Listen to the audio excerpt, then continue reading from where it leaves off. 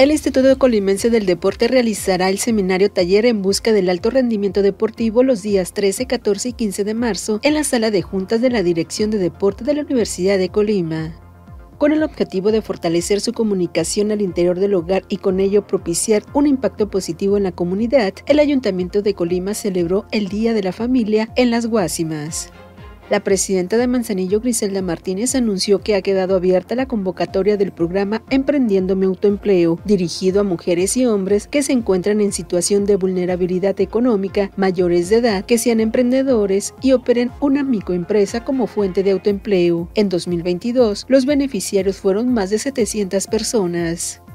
El gobierno del estado de Colima firmó un memorándum de entendimiento para promover la reactivación de la actividad turística en la entidad y difundir sus atractivos de forma responsable con los ecosistemas naturales y comunidades locales. La Lotería Nacional dedica al puerto de Manzanillo su sorteo del próximo 14 de marzo al plasmar la imagen del centro de la ciudad, donde destaca la obra escultórica del pez vela del artista Sebastián en 3.600.000 cachitos que se comercializan en más de 12.000 puntos de venta de todo el territorio nacional. La presidenta municipal de Colima, Margarita Moreno, confirmó la realización del Festival del Volcán en su edición 2023, en la cual se contará con la presencia de la cantante Gloria Trevi el próximo 4 de junio, esto en el marco del 500 aniversario de la fundación de la Villa de Colima.